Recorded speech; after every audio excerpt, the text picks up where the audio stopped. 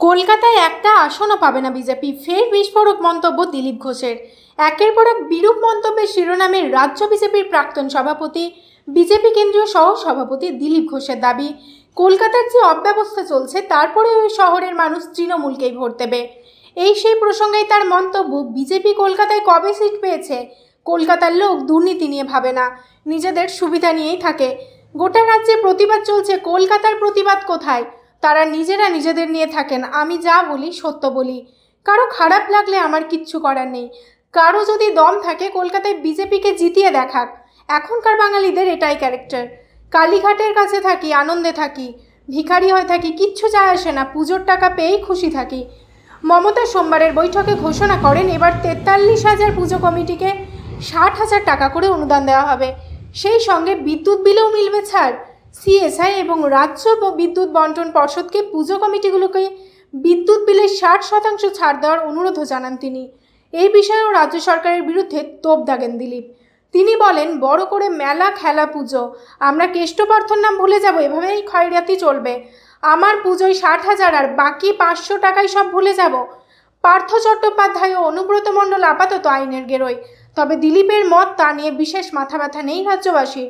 তাই মানুষকে সাবধান করে তার বক্তব্য পঞ্চায়েত দূরের কথা। এখন বাঁচাও সাধুবাবা চলছে, সব ভুলিয়ে দেওয়ার চাল। ভাববেন না ইলেকট্রিক বিল কম হবে।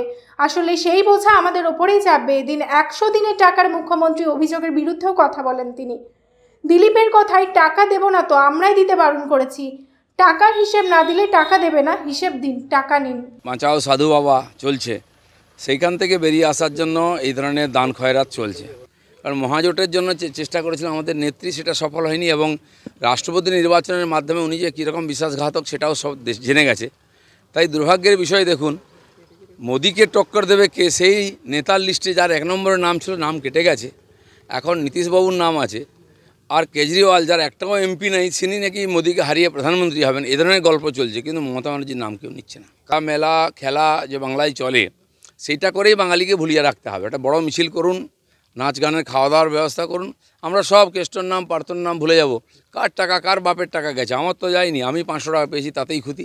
আমরা পুজো করার জন্য ষাট হাজার টাকা পাচ্ছি তাতেই খুশি। তাই নিয়ে আনন্দ করব। বাংলা কোথায় আছে কে খোঁজ রাখে? কলকাতার লোক দুর্নীতি নিয়ে কেউ চিন্তা করেন না। তারা নিজের সুবিধা নিয়ে চিন্তা করেন। তারাই আবার ভোট দিয়ে এই দুর্নীতিগ্রস্ত পার্টিকে জেতাবেন। কারণ তার সততা নিষ্ঠা ন্যায়ের প্রশ্ন নেই। নিজের সুবিধা নিয়েই থাকেন।